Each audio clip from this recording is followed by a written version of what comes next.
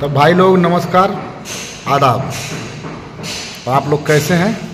उम्मीद करते हैं आप लोग स्वस्थ होंगे और अच्छे होंगे, मस्त होंगे। तो आज हम बात करेंगे समसम बिहारा फेसी का।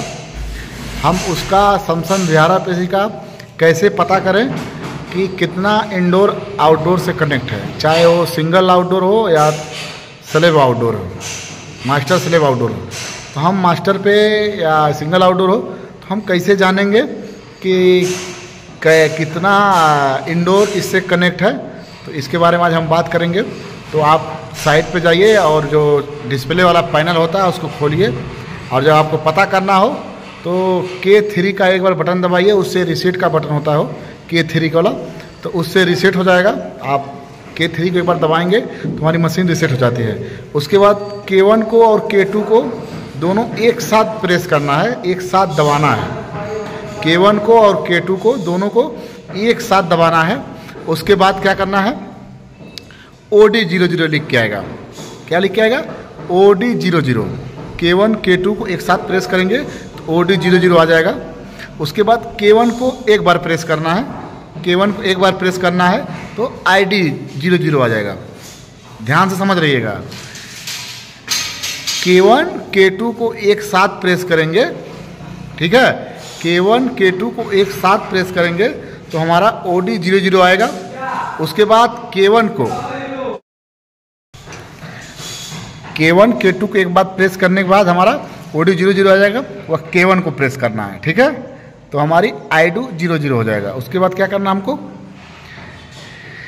के फोर को के फोर को दबाना है, दो सेकंड के लिए। के फोर को दबाना है, जो दाहिने साइड लास्ट में होता है के फोर को लिखा होता है उस पर के वन के टू के थ्री के फोर तो लास्ट वाले को दो सेकंड के लिए दबा कर रखना है तो हमारा वो आईडियो नंबरिंग आ जाएगा। थोड़ा सा हम वेट करेंगे तो एक, दो, तीन, चार, पाँच, छः, सात, आठ, जितना इंडोर रहेगा, एक, दो, तीन, चार, पाँच, छः, सात, आठ, नौ, दस, ग्यारह, बारह, एक, दो, तीन, चार, जितना इंडोर होगा, जितना इंडोर होगा तो वो कनेक्ट करेगा। जैसे नौ इंडोर है तो आठ तक कनेक्ट करेगा। वो ज़ीरो को भी गनता है। जैसे नौ इंडोर है तो ज़ीरो से स्टार्ट होगा, ज़ीरो, एक, दो, तीन, चार, पाँच छः सात, आठ। तो हम ज़ीरो भी गनेंगे तो हमारा आठ अगर बता रहा है तो हमारा नौ ए है, ठीक है? तो हमारा अगर लेने लगा इस तरह का, एक, दो, तीन, चार, पाँच छः सात, आठ, नौ करने लगा तो हम इसको सेव कैसे करेंगे? जैसे हम ये सेटिंग तो कर दिए तो सेव करने के लिए हमारा सैमसंग में सैमसंग के वीआरएफ में हमारा क्या होता है? के टू के टू को हम प्रेस करके रखेंगे जब तक बिलिंग ना करने लगे आई प्रेस करेंगे सेकेंड में ही प्रेस करेंगे तो एक बार बिलिंग करता तो हम छोड़ देंगे के बार के टू को। तो हमारा सेव हो जाता है। तो हम मशीन छोड़ देंगे तो हम चाहें रिमोट से स्टार्ट करना तो रिमोट से स्टार्ट कर सकते हैं। और चाहें तो हम टेस्ट मोड पे चलाना चाह रहे हैं तो टेस्ट मोड पे चला रहे हैं। तो अगर गर्मी का दिन है और हमको टेस्ट मोड पे चलाना है तो हमको क्या करना है? के वन को। ध्यान से सुनिएगा टेस्ट मोड चलाने के लिए सैमसंग ग्यारह पे कौन ए हो? के वन को एक बार प्रेस करना है तो डबल के के लिख के आता है, वो पूरा के नहीं लिखा रहता है, ठीक है? तो लेकिन हम पढ़ेंगे उसको के के के के तरह ही रहता है, पूरा के नहीं बना रहता है। तो अगर डबल उस तरह का आ रहा है, हमारा वीडियो भी डाला हुआ है, आप जाकर देख सकते हैं। तो उस तरह के आ रहा है के के तो हम थोड़ा दो चार, दो, तीन मिनट वेट करेंगे और खटपट हमारी टेस्ट मोड पे सारी मशीनें, अगर आठ ए है, चाहे पंद्रह ए है, चाहे बीस ए है, चाहे अट्ठारह ए है, जितना एसी रहेगा, अपने आप एक, दो, तीन, चार रिमोट अगर कॉटेड वाला लगा तो उस पर लिख के आता, नहीं लगा तो अपने आप सारे ए ऑन हो जाता है। तो आधा घंटा, पौन घंटा चलेगा और अपने आप वो रिसेट वाला चीज़ हट जाता है। तो आप रिमोट से चलाएँगे तो चालू होगा। ठीक है?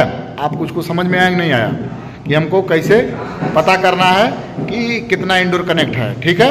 बहुत लोग फ़ोन करते हैं तो हमसे पूछते हैं तो इसीलिए हम वीडियो बनाते हैं, हमारा फ़ोन नहीं उठता है, हम प्रॉब्लम में रहते हैं, हम भी काम करते हैं। तो आप लोग जान जाइए। और आपको वीडियो देख के कुछ समझ में आया हो तो एक बार लाइक और चैनल को सब्सक्राइब ज़रूर करें और बेलकॉन वाला बटन प्रेस करके ऑल कर दें। हम इसी तरह से जानकारी वाला वीडियो और प्रैक्टिकली वीडियो हम हमेशा डालते हैं तो आप कुछ कुछ तो सीख ही रहे हैं। मिलेंगे नेक्स्ट वीडियो में, तब तक के लिए बाय बाय गाइज़ मिलते हैं नेक्स्ट वीडियो में। Bye bye